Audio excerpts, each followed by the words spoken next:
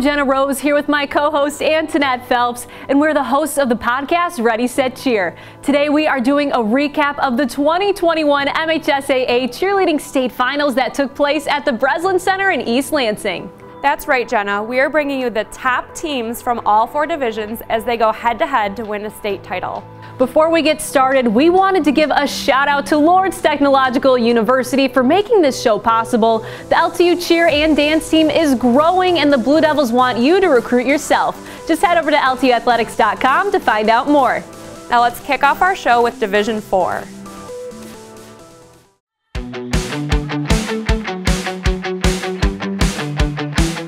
Jumping into the competition, we have the girls from Hart giving it their all in round one.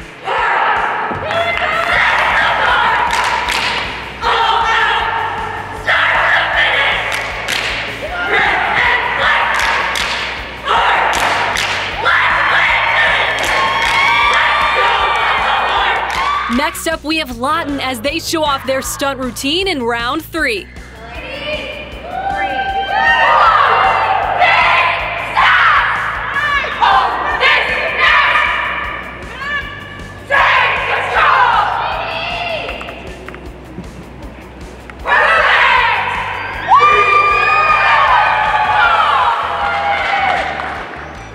Coming up next, we have NorthPointe Christian performing their routine in round two.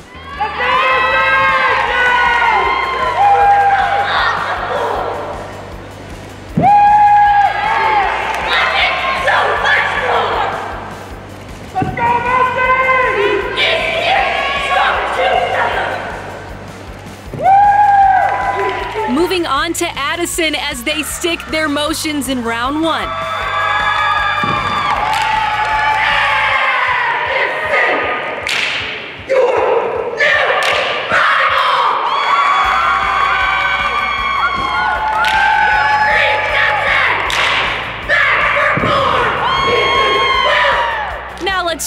Adrian Madison showing off their tumbling skills in round two.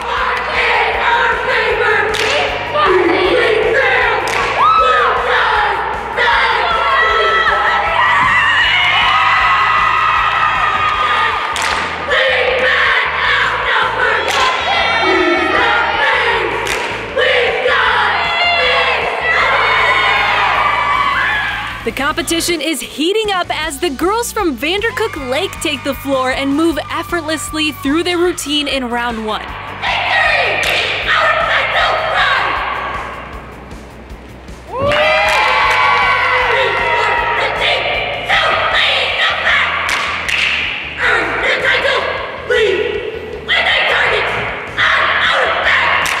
The Jayhawks would finish the afternoon in third place. Now we have Pewamo Westphalia, who has won nine finals titles, and last year they came in second. This year they are pushing for first as they gave it their all in all three rounds. Here they are in round one, scoring the highest points.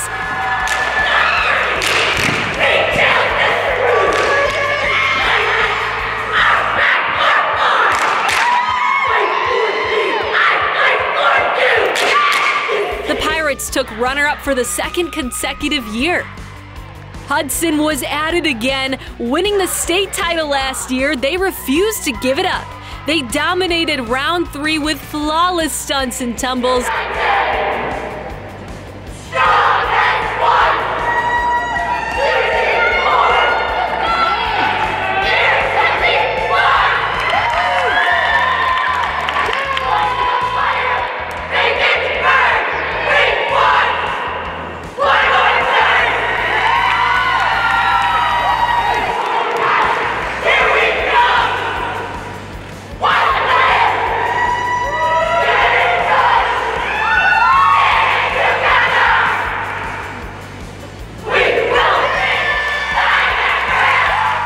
The Tigers received 758 points overall as they now have their third Division 4 championship state title.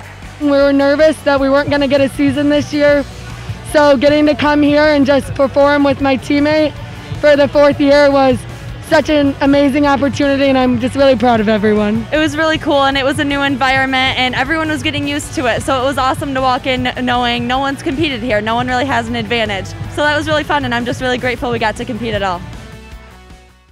If you're a high school athlete with the dream of playing college sports, Lawrence Technological University wants you to recruit yourself. LTU offers over two dozen varsity sports for men and women, along with several dozen world class undergraduate programs. Athletic and academic scholarships are available in all sports, including its newest additions competitive cheer and dance, esports, women's hockey, and men's and women's track and field. Visit LTUathletics.com and recruit yourself. Lawrence Tech, where Blue Devils dare.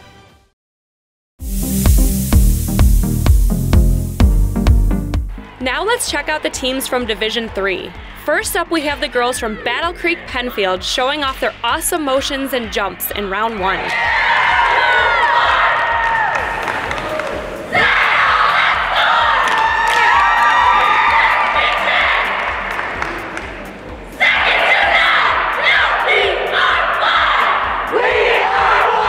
Up next, we have Alma with their routine in round one.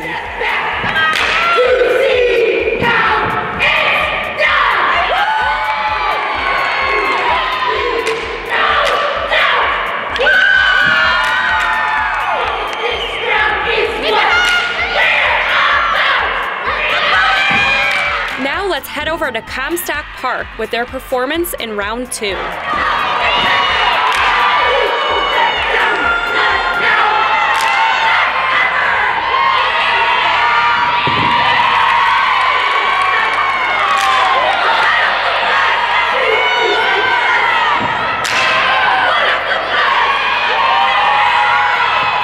Coming in fifth place, we have Croswell Lexington getting their highest scores here in round three.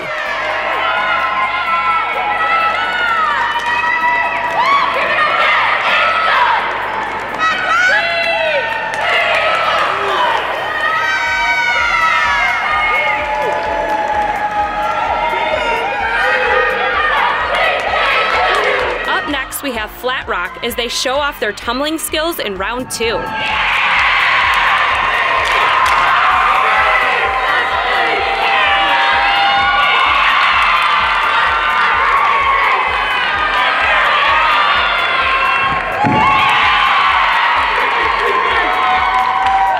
Coming up next, we have my alma mater, the girls from Notre Dame Prep. NDP came in second place last year, and they are known for dominating round three. The Fighting Irish refused to give up and had the exact same score as Richmond in round three.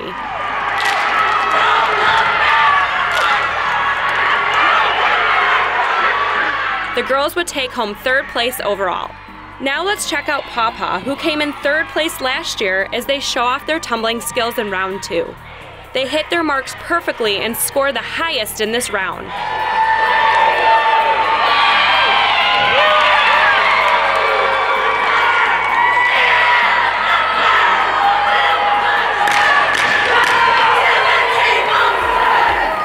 Took home second place. Richmond came out strong, showing they were determined to win again as they dominated round one.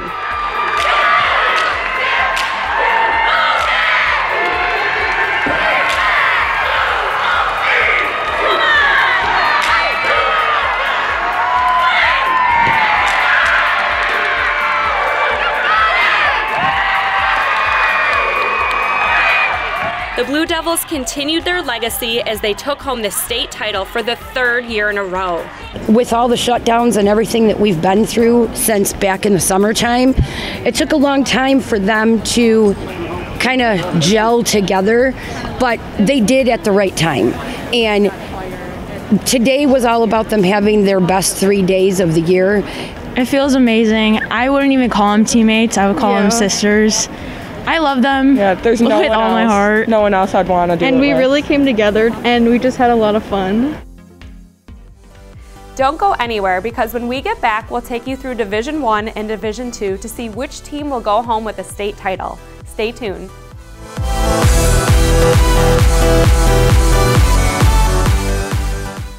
Did you record an unbelievable touchdown, a game winning goal, or just a proud parent moment? Then we want your clip. Upload your video to the brand new State Champs Network app. so we can feature it on one of our shows and give your player, team, and school the recognition they deserve. All it takes is just a few easy clicks, and every clip that is submitted will automatically be eligible for prizes. Download the State Champs Network app today for iPhone and Android devices.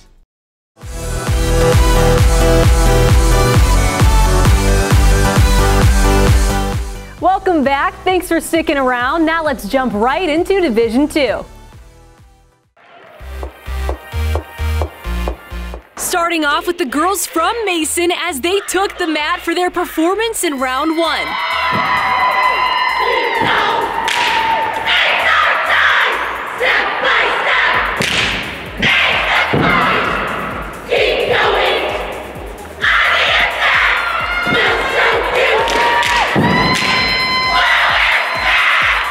Next up, we have the ladies from Flint Kearsley in round three.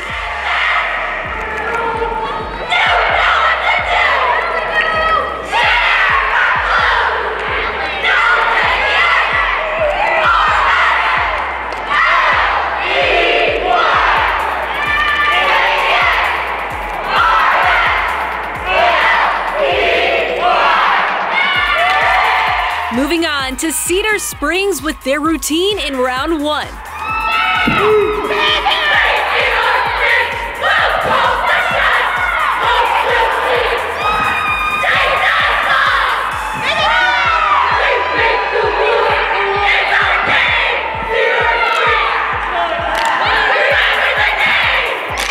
Southgate Anderson is up next with their performance in round three.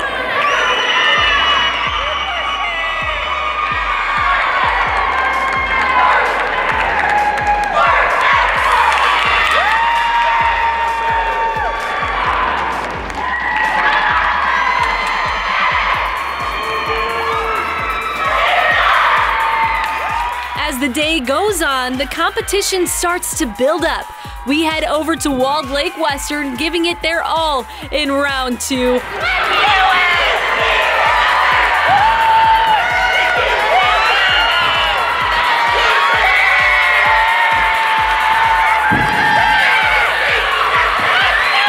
The Warriors finished in fourth place.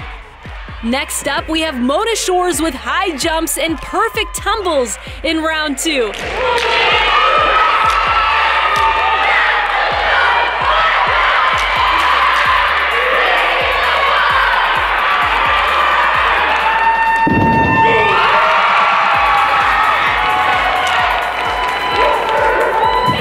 The girls came in third place overall. Now we have DeWitt, who came in third place last year with their hard work and dedication showing as they move through their routine in round three.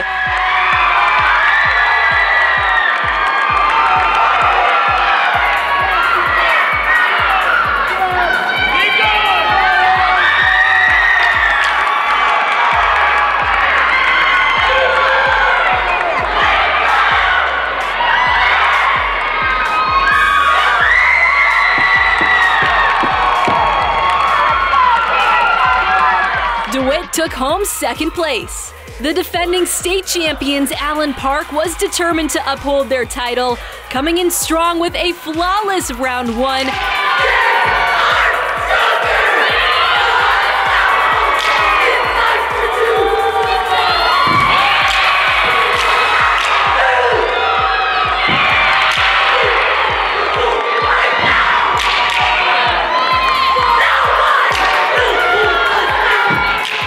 Jaguars proved that they had what it takes to win the Division II cheerleading state title for the second consecutive year.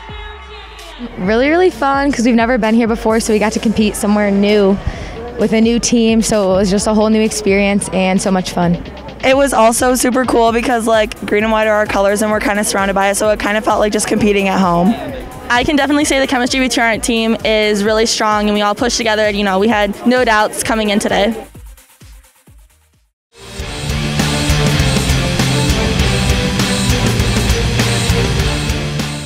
Let's move on to the final cheer competitions as we cover Division 1.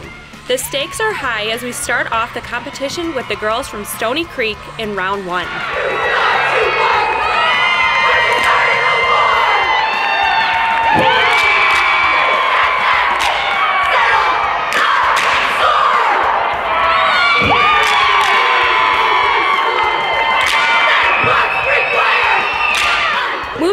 Woodhaven with their performance in round three.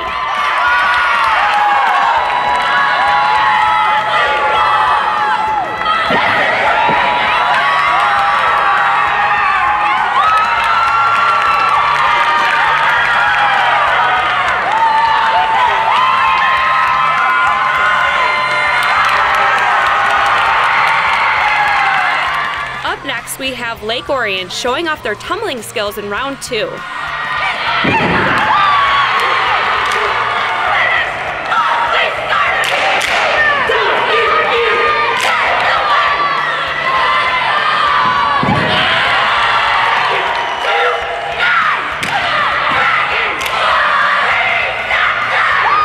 Now check out the girls from Brighton as they perform their routine in round three.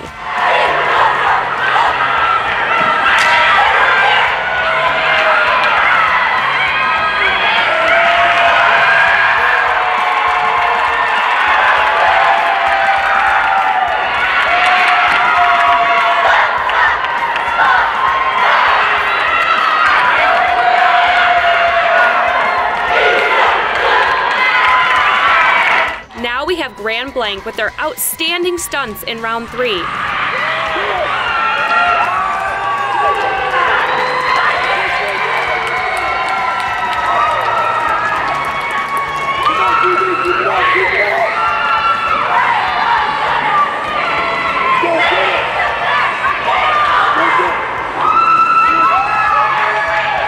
The Bobcats finished in fourth place.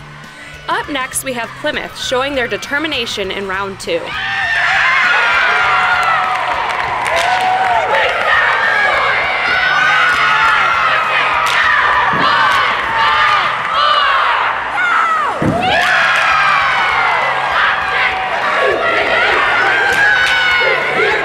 With three amazing rounds, the Wildcats would finish in third place. Grandville up next, giving it their all as they try to take home the title. Last time Grandville won states was in 2015. Here they are in round three, proving they have what it takes.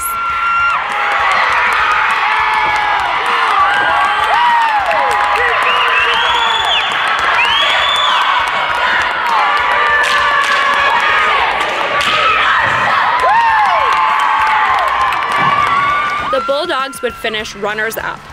Last year, Rochester Adams made school history by winning the program's first cheer state title, and they refused to give it up. The girls held the top score in all three rounds, and it would be the round three that pushed them all the way to the top.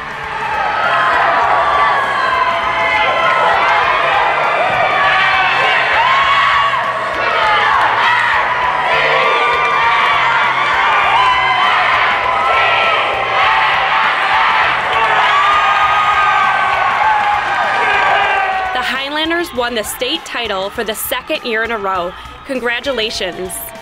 We just really, you know, fought through so much this year, just like all teams with COVID and just trying to get through quarantines and never ending, um, potentially shut down season. And so we're just really happy to be here and get to finish our season. We all stuck together, we all persevered, and as a team, we literally conquered all the odds against us, and now we're back to back. We had 23 state returners this year, so we knew that we could still be a very strong team. Although with quarantining and everything, it was hard sometimes, but this team seamlessly fixed all the rounds and put new people in week after week, and we really kept our emotions in control and pulled it off. This experience has been like no other. I don't think any other year Adams has had three sweeps in a row, two times, two years with the same team. It's been great.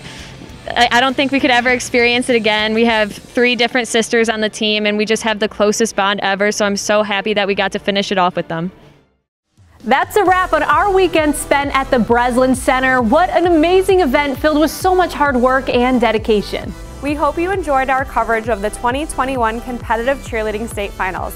We can't wait to see what next year has in store. And don't forget to tune into our podcast, Ready, Set, Cheer, as we wrap up our final episode of the season. And be sure to follow State Champs Michigan on social media. Download the free State Champs Network app to catch all the shows.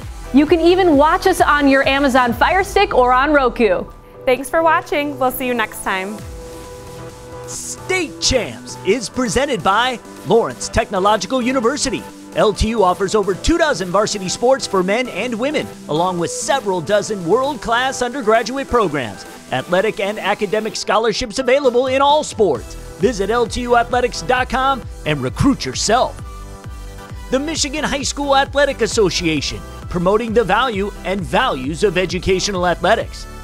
Detroit Medical Center's physical therapy and sports medicine pros. Do you have a sports injury or are you just looking to take your game to the next level? Go where the pros go. Visit dmc.org slash game changer.